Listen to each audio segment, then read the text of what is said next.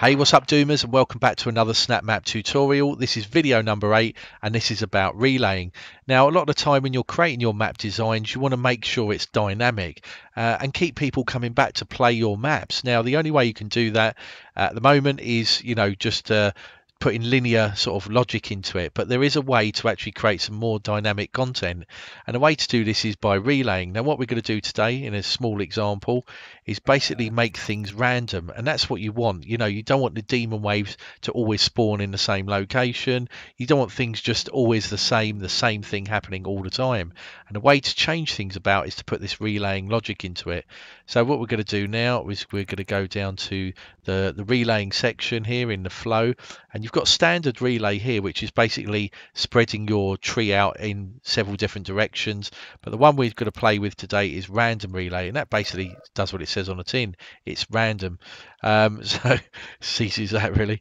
So what we're going to do, we're going to first we're going to create a um, pressure plate as a trigger. Uh, so you can put your trigger as the door, you know, uh, want to use the module which we showed you in video number one. Um, so as you people enter that particular room, you can use the map logic as well or the module logic, um, which acts as the, the key trigger. Uh, but for this example, we're just going to use a pressure plate. So as soon as someone walks on a pressure plate, it's going to start a timer.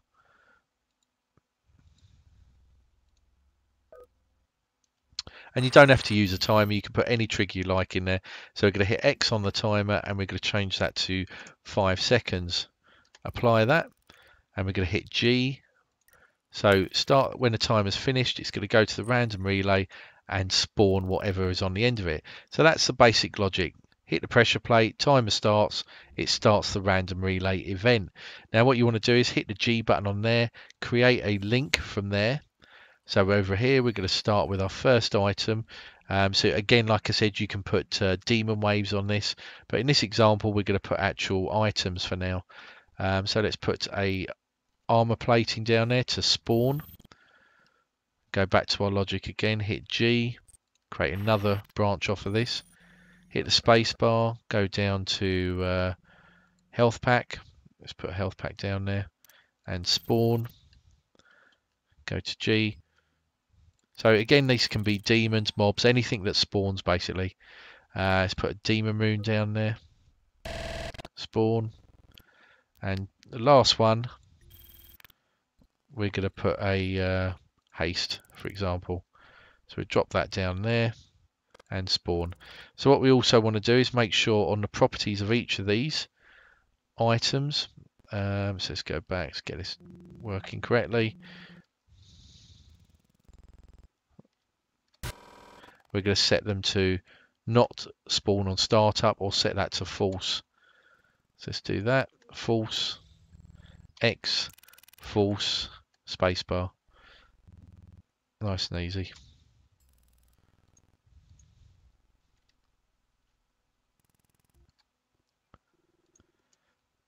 so then what we want to do is once we've done all of that, we go back to our random relay logic again, hit the X button on the properties, and you get a couple of choices. Now you've got run once, choose unique uh, outputs, um, and also reset signaled outputs as well, and a signal count. Now, run once obviously it'll just run once and that's it. Choose unique outputs is what we want to set it to. So we set that to true. So it's completely random again. It's not always going to be the same. Uh, reset signaled outputs.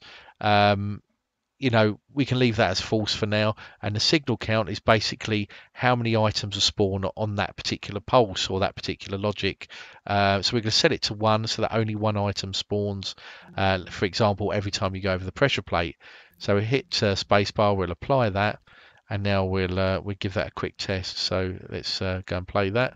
So remember, guys, this is a really good way of adding dynamics into your maps and your map design and uh, it keep pe- people that you know who like your maps coming back because it will randomize thing and that is a real key thing for longevity of your maps you know. People play your maps nowadays they play it once and that's it they won't come back. Put this sort of logic into it and uh, you're guaranteed to get some return visitors. So there's a timer. So there's our first spawn and it's the health pack over there. So we go over the, the pressure plate again and we've got the haste up so we go over it one more time So remember you can do this in two, so you can have two items spawning at the same time or two waves, for example, of demons. So if you remember the order now, we had the Medi Medipack, we had the uh, Haste, we had the Armour, and then we had the Demon Rune. So if we go back, restart the mission, then what we're trying to do is we're trying to see and show you guys that how random this thing can be. So if we go back now, so we had the Medipack, we had the Haste, we had the Shield, and then we had the Demon Rune. So hopefully it's going to be in a completely different order now. There we go. So there's the haste. So we had the Medi Medikit before.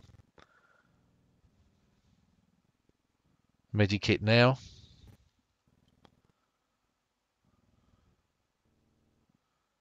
Demon Rune and obviously the armor at the end of it. So as you can see, it completely randomizes it every time you go in.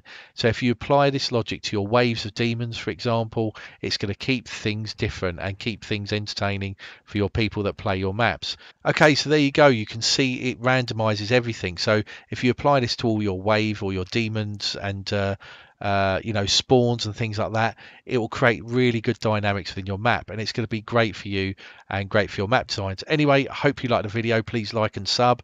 Thumbs up all the way, guys.